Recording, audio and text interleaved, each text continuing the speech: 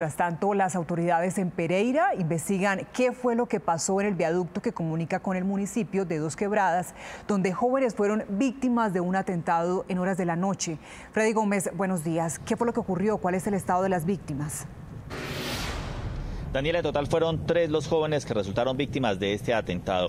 Uno de ellos, que presentó una herida de bala en una pierna, ya fue dado de alta en horas de la madrugada.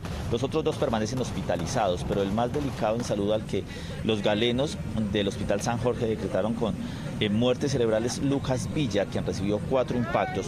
Este joven está estudiando en la Universidad Tecnológica de Pereira, licenciatura en Ciencias del Deporte eh, en la Universidad Tecnológica y además aseguran que trabajaba como mecánico de motos, pero era uno de los líderes de estas protestas pacíficas. Durante todo el día estuvo en distintos recorridos que se realizaron, incluso hay fotografías donde le da la mano a miembros del SMAC acá en la zona donde nos encontramos de la gobernación de Risaralda. Las autoridades están investigando qué fue lo que sucedió, quiénes fueron las personas que llegaron a esta zona del viaducto donde estaban los jóvenes de manera pacífica después de las marchas que se realizaron durante todo el día. Además, no había policía en la zona ni se estaban presentando enfrentamientos.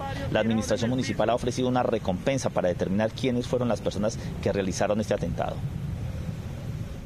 La Policía Nacional rechaza rotundamente los hechos ocurridos en el municipio de Pereira, en el sector del viaducto, donde salen tres personas lesionadas con armas de juego.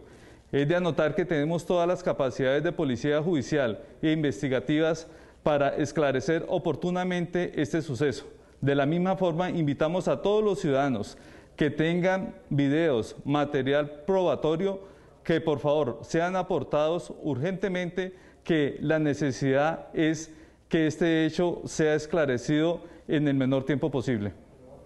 Rechazamos tajantemente este hecho delictivo y no vamos a permitir que se presenten más en nuestra ciudad, en Pereira para lo cual exigimos a las autoridades en el menor tiempo posible que se esclarezcan los hechos sicariales de la noche de hoy.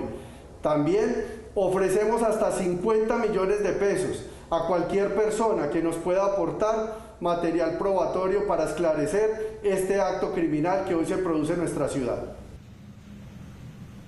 Durante todo el día se van a realizar manifestaciones, marchas y algunos eventos para demostrar que la marcha es pacífica en la ciudad de Pereira y rechazar estos actos de violencia que se presentaron anoche en el viaducto César Gaviria Trujillo. En Pereira y en el eje cafetero Freddy Gómez, Noticias Caracol.